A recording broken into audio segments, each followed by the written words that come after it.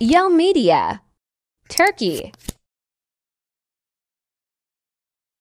Son zamanlarda magazin gündeminde sıkça yer alan Demet Özdemir ve Oğuzhan Koç çiftinin düğün hazırlıkları sürüyor.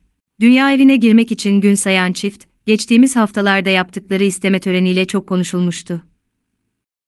Aynı gün içerisinde nişan merasimini de yapan Koç ve Özdemir ikilisi düğün tarihlerini 28 Ağustos olarak duyurmuştu.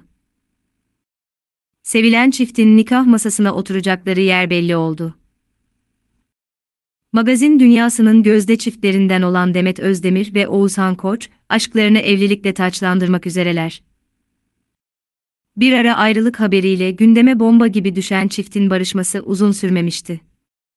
Birbirlerine oldukça yakışan çiftin barışma sinyallerini burada anlatmıştık.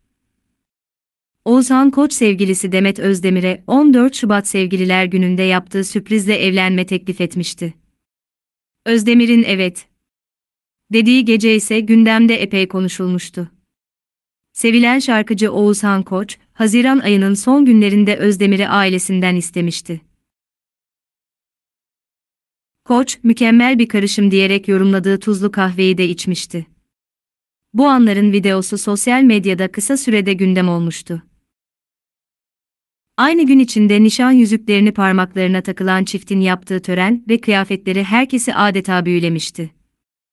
Merakla beklenen düğün törenleri hakkında konuşan güzel oyuncu, ikimizin de takvimi çok yoğun, net tarih belirleyemedik açıklamalarında bulunmuştu.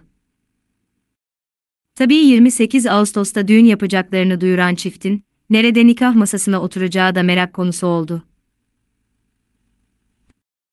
Birbirlerine oldukça yakışan iki ünlünün İstanbul Sarıyer'de bulunan oldukça lüks bir otelde evlenecekleri iddia edildi. Ortaya çıkan iddialara göre, Özdemir ve Koç çifti, 600 davetlinin katılacağı planlanan düğünün masrafları için yaklaşık 4 milyon Türk lirası ödeyecekler. Biz de kendilerine bir ömür mutluluklar diliyoruz. Sizin konu hakkındaki görüşleriniz neler? Yorumlarda buluşalım.